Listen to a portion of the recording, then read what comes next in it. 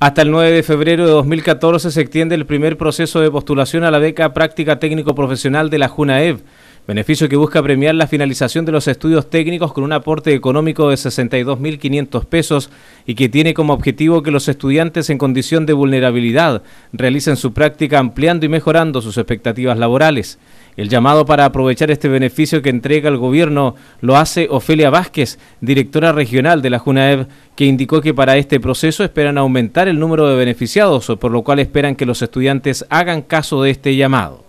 Estamos con los procesos de programas de verano abriendo ya, eh, que estamos con las postulaciones a través de los municipios, con colonias escolares, eh, a través de los colegios, programas de verano eh, campamentos escolares que se van a iniciar y que ya salió la licitación pública, y además con procesos de becas.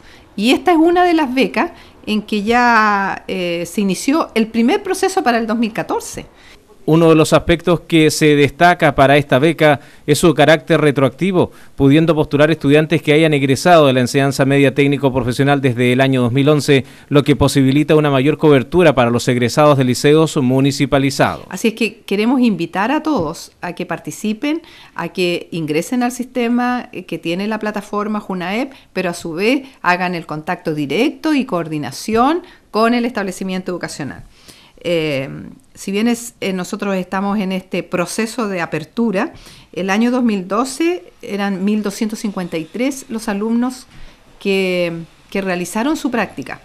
Y eso eh, quiere decir de que habla muy bien de los liceos porque van cerrando sus procesos.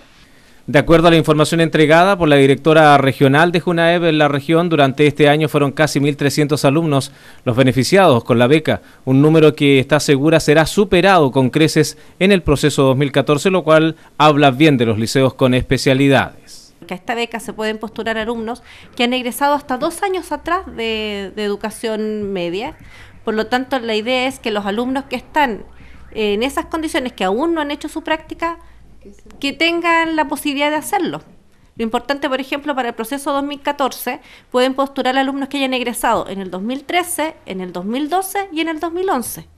Por lo tanto, tenemos un grupo de alumnos que puede ser que todavía no hagan la práctica y que estén en condiciones de poder hacerla y que reciban precisamente el beneficio. Son 42 los establecimientos acreditados por el Ministerio de Educación en la región de Los Ríos, cuyos alumnos pueden acceder a esta beca, lo cual no es un impedimento para que todos, sin excepción, sean fiscalizados por el personal del servicio. Inspecciones que se realizan en diferentes periodos de las prácticas profesionales.